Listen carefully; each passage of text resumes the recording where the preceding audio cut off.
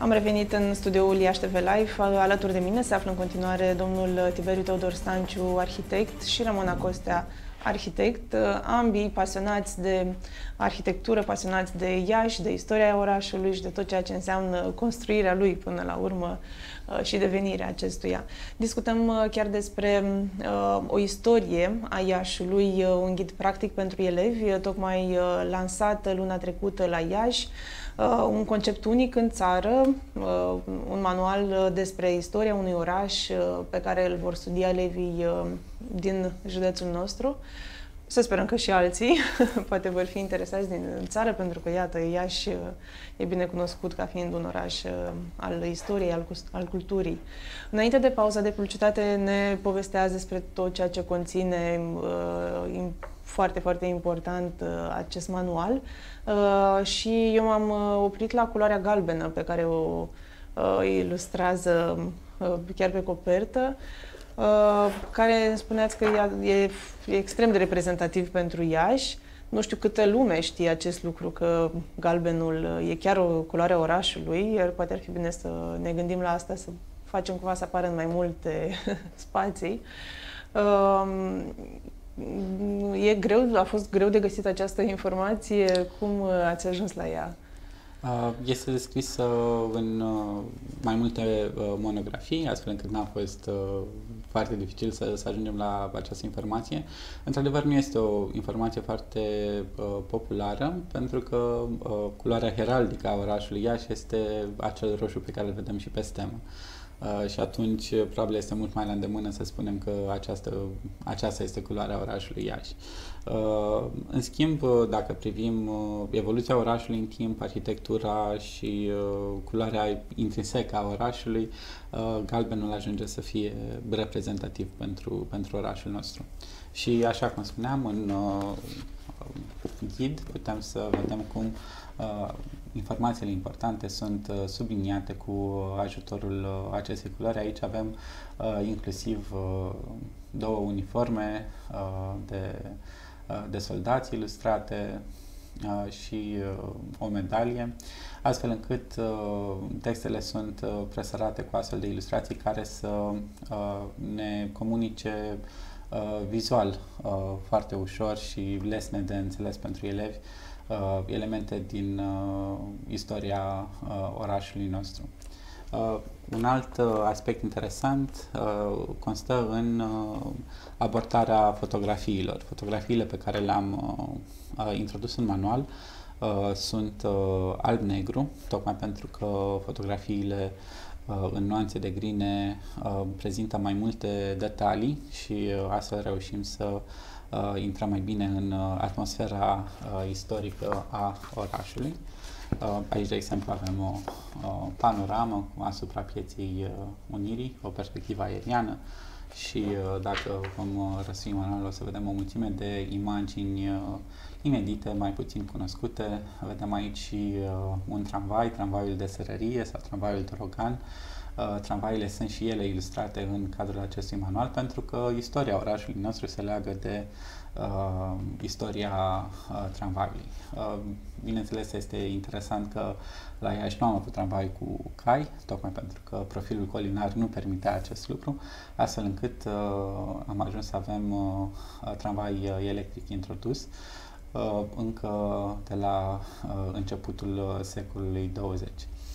Um, astfel o să descoperim și această poveste a tramvailor de la uh, primul tramvai AEG proiectat în Germania pentru Iași la acest tramvai pe care îl vedem acum în imagine care este proiectat la terenele Nicolina de uh, inginerii Huhulea și uh, Dorogan. Uh, mai apoi uh, se povestește și despre acel uh, tramvai ambulanță, un alt aspect inedit pentru orașul nostru, uh, tramvai ambulanță care a funcționat în uh, cel de-al doilea război mondial, transportând răniții de la uh, gară către spitalul uh, militar, de exemplu. Uh, și uh, multe alte curiozități, inclusiv despre uh, tramvaiele pictate, putem să uh, aflăm tramvai care uh, sunt realizate cu ajutorul studenților și care înfrumusețează străzile Iașului încă din uh, 2013. Deci istorie contemporană, uh, am, ați plecat de la uh, începuturi până în zilele noastre. Da, și aici chiar aș vrea să amintesc faptul că uh, cele mai recente studii ale uh, uh, celor de la Facultatea de Istorie sunt introduse în, uh, în manual, astfel încât avem și uh, informații despre uh, evoluția Curții Domnești la Iași și uh, planurile descoperite de domnul profesor Laurențiu Rădvan.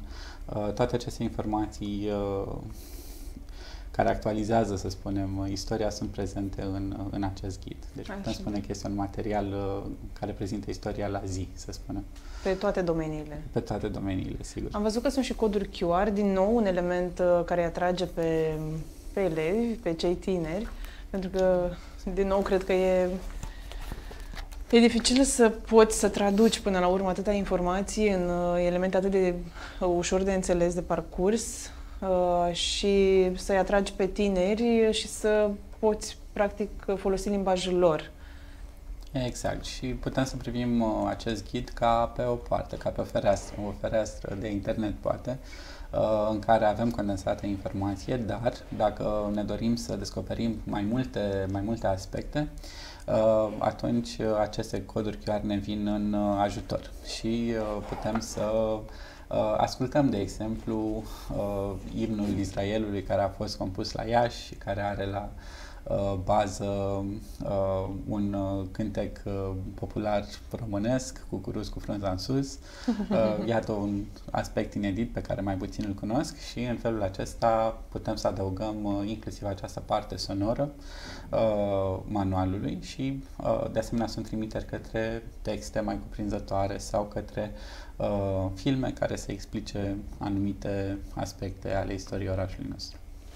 Uh, sunt anumite aspecte mm, pe care considerați că lumea largă nu le cunoaște, deși ar fi de ajutor să le știe, uh, pe care le-ați prezentat deja în manual. Uh, mm, poate sunt lucruri micuțe, însă cu consemnătate Uh, cred că sunt o Foarte mulțime, multe. o mulțime de detalii pe care și, până și pentru noi au fost, uh-huh. au fost uh, lucruri noi.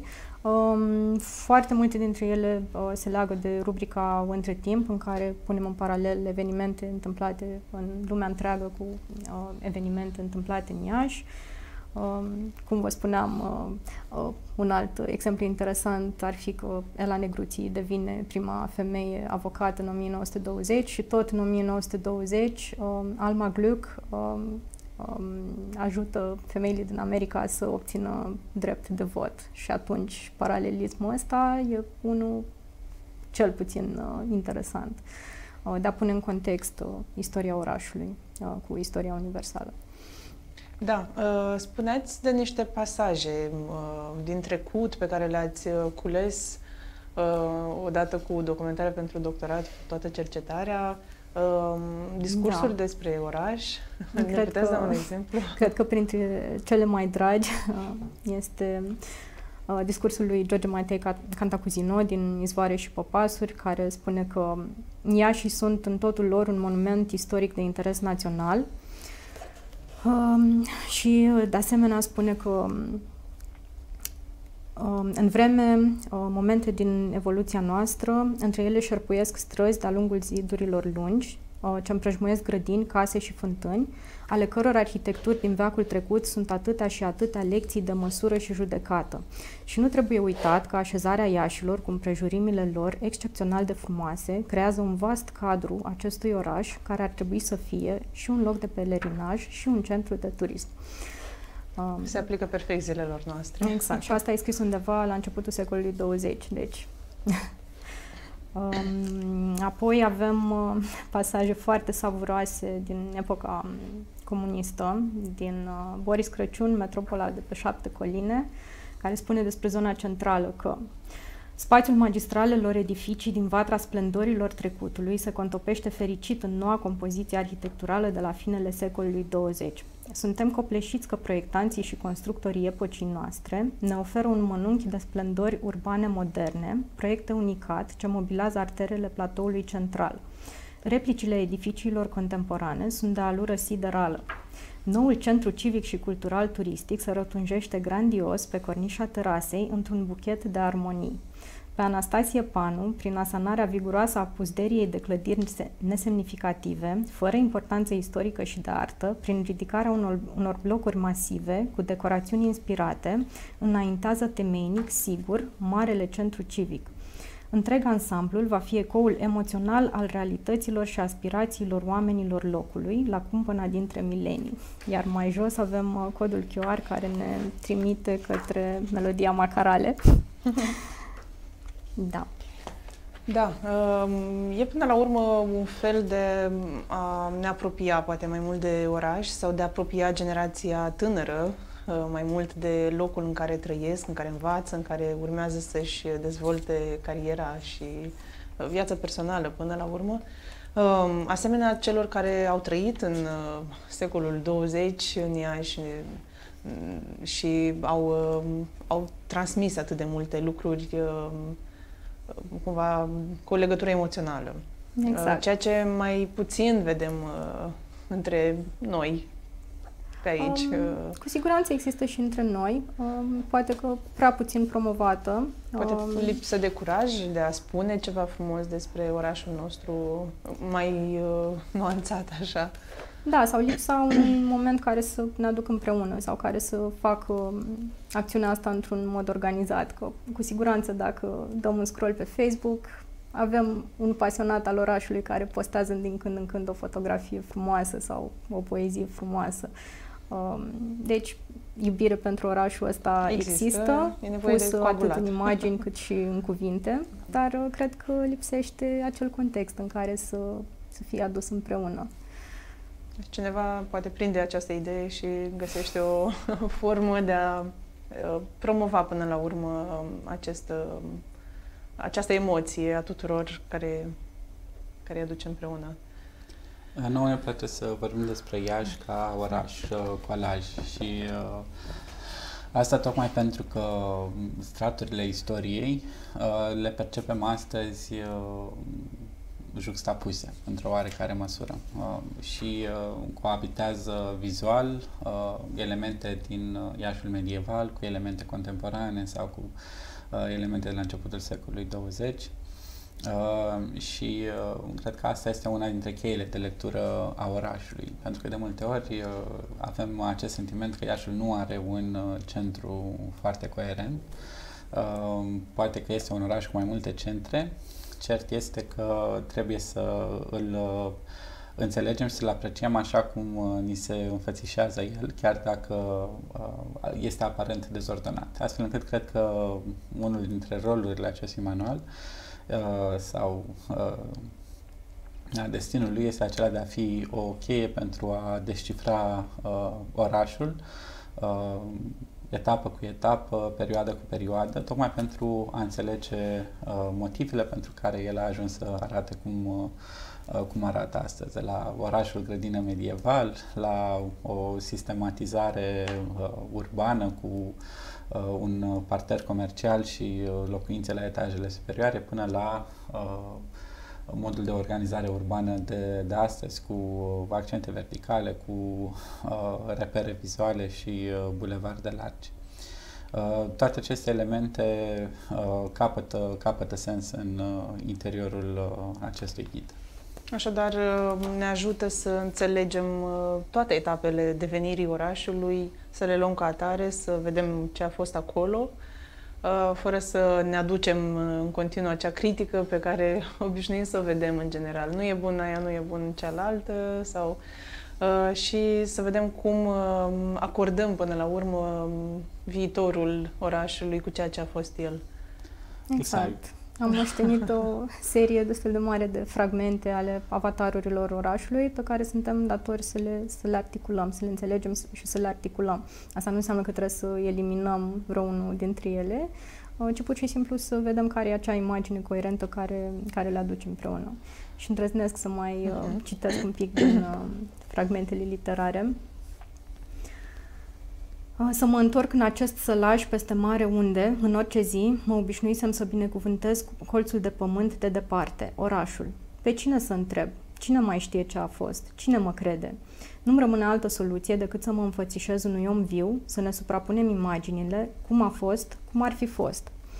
Icoana târgului o duc strâns lipită în dărătul pleoapelor ca să nu rămână loc pentru lacrimi. Spunem tu, când te întorci acasă, plângi? Ridic ochii spre trecut. Cerul acela, în care Iașul s-a răsturnat, e ca un zarzăr înflorit. În fiecare floare un înger apără o lumânare pândită de vânt. Da.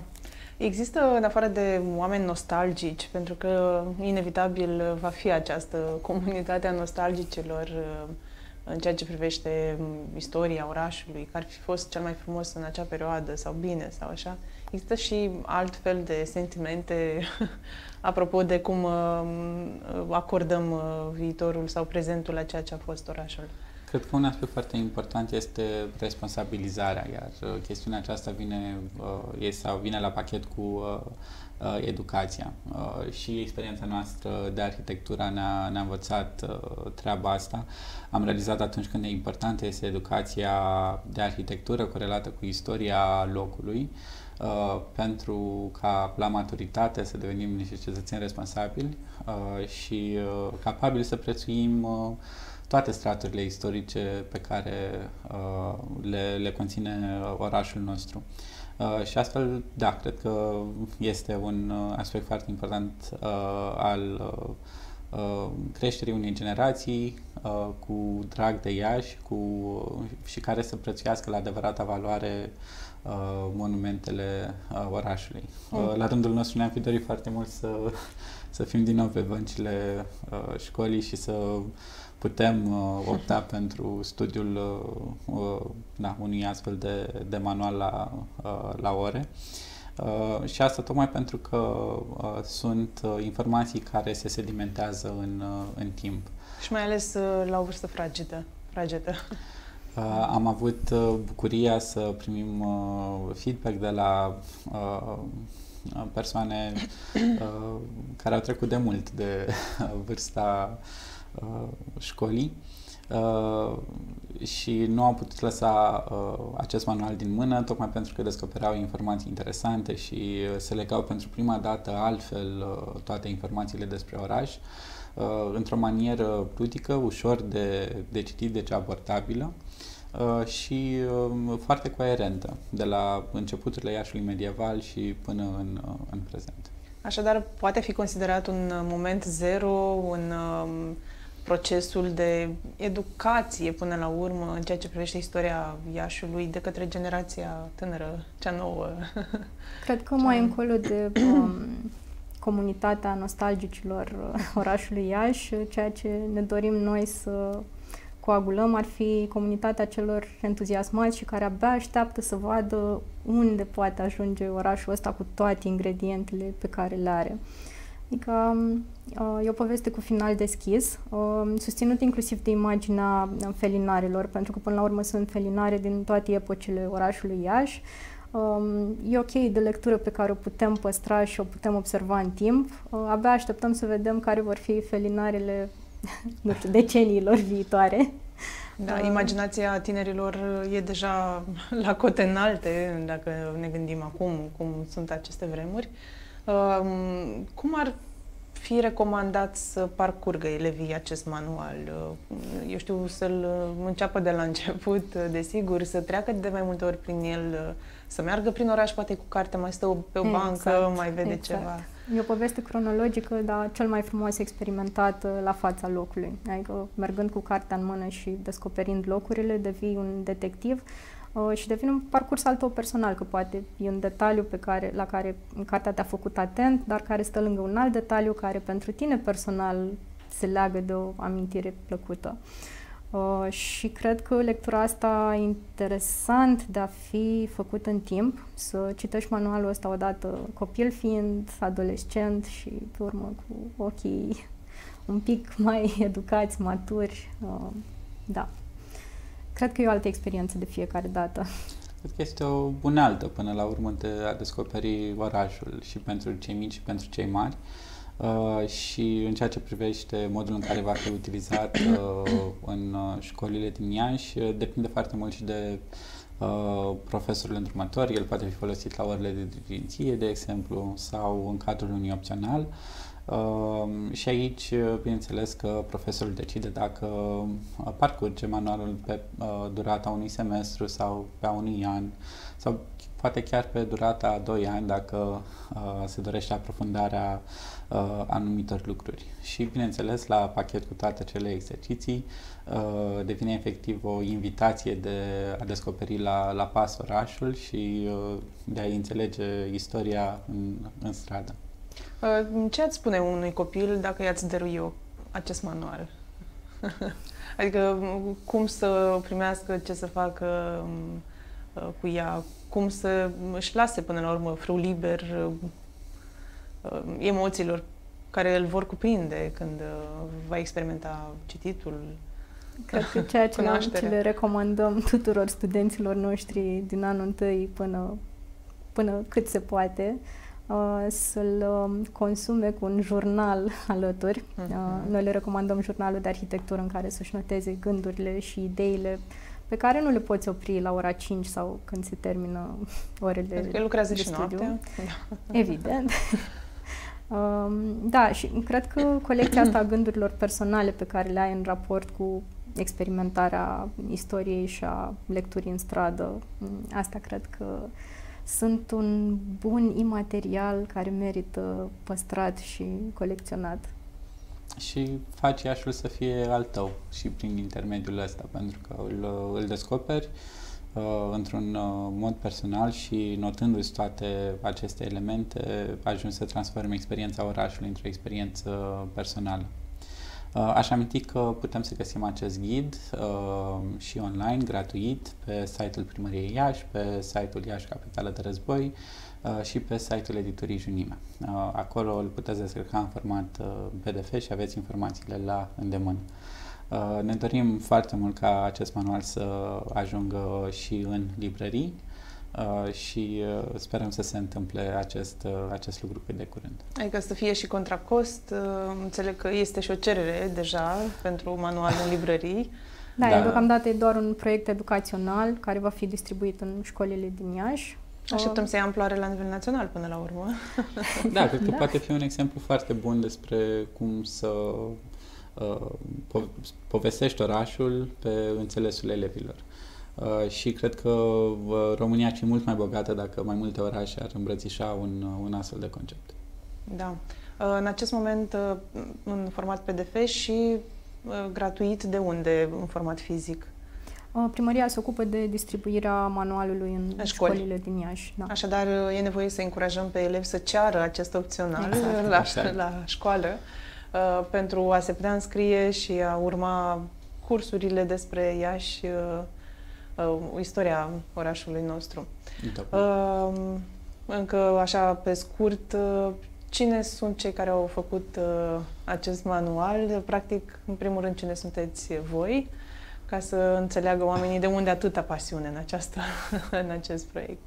Uh, da, cumva uh, acest uh, proiect vine în urma a numeroase colaborări pe care le-am avut de-a lungul timpului cu Uh, primăria Iași, cu Departamentul Centenar, uh, uh, cred că cea mai lungă colaborare am avut-o cu doamna Adriana Baciu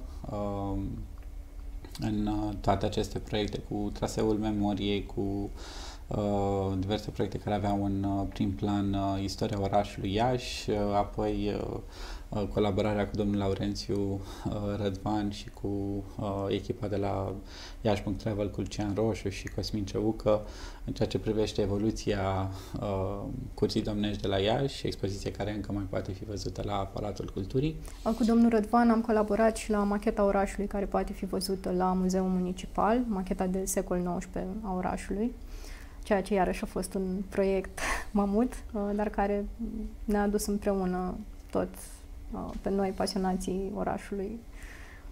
Uh, și așa cum spunea și uh, Ramona, partea noastră de uh, cercetare uh, a memoriei, respectiv a elementelor de signalistică, a avut în prim plan uh, uh, orașul Iași, practic toate uh, hărțile pe care le-am desenat de-a lungul timpului pentru uh, Iași, apre trasee turistice tematice sau pentru traseul memoriei sau traseul francofoniei, au uh, pregătit terenul pentru, pentru această carte în care uh, am uh, reilustrat orașul într-o manieră ludică pentru, pentru elevi. Uh, și da, nu cred că acest uh, manual ar fi fost la fel de uh, bogat și semnificativ dacă ne-ar fi, ne-ar fi prins mai devreme și cumva cred că a fost nevoie de această maturizare prin toate aceste proiecte pentru uh, a putea oferi ce mai bun din uh, ce am acumulat. Nu, încă uh, nu ne vine să credem că s-a întâmplat, că ne imaginam că o să fim în rolul ăsta undeva pe la sfârșitul carierei, dar... Uh... Da, am fost, am fost norocoși și le mulțumim tuturor colegilor pentru că ne-au acordat uh, încrederea de, de a uh, lucra la, la acest manual. Uh, deloc simplu și uh, un efort uh, considerabil a fost în uh, a, a introduce într-un format destul de restrâns a, toate aceste informații și într-un limbaj a, adecvat pentru, pentru tineri. A, pentru că, după cum bine știm, a, textele istorice pot fi câteodată plictisitoare sau într-un limbaj a, a, poate greoi. prea elevat, greoi, da. Uh, și uh, atunci uh, toată această transpunere uh, în acest format este meritorie și aici le mulțumim în mod special uh, doamnei Carmen Tomescu și doamnei Sorina Dănăilă. Așadar, uh, manualul Iași, o istorie a orașului, ghid practic pentru elevi, este gratuit în acest moment, se poate găsi în format PDF în online și în format fizic dacă este solicitat de către elevi, profesori la clasă. Mulțumim uh, foarte mult pentru tot ceea ce ne-ați oferit uh, și cu siguranță vom vedea feedback-uri și unde așa făcute de acest uh, proiect absolut minunat. Mulțumim! Mulțumim, da, vă mulțumim! Vă mulțumesc și dumneavoastră pentru atenție, atât pentru această seară. Ne vedem săptămâna viitoare. O seară frumoasă!